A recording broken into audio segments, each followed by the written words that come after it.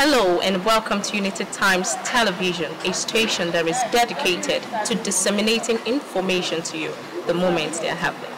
So today we are at Gracious Hotel where we'll be having a press release by the National Task Force and illegal smuggling of arms. Stay tuned. What we are calling Mr. President is for us to come closer, that we can work hand in hand. We are not even looking for inauguration, but we want to bring his consent close. That I can tell you one thing people should understand. National Task Force is the only organization can solve our problem today.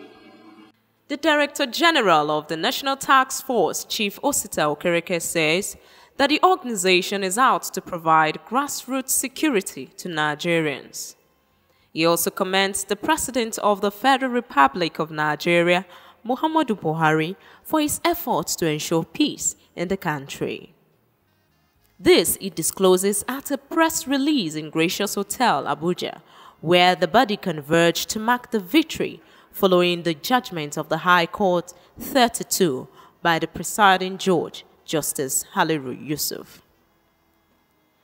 Justice Haliru debunked the accusations laid against Chief Osita Okereke today by the former Board of Trustee Chairman of NatForce, saying that the accused was not given fair hearing. He further says that the seven national newspapers who published the accusations should pay the sum of 5 million naira for damages to Chief Osita Okereke. Prior to this is the internal challenges in the National Task Force. Members of the NAT Force rejoices at the victory of today. By the judgment today that we have won I don't think we are going back again.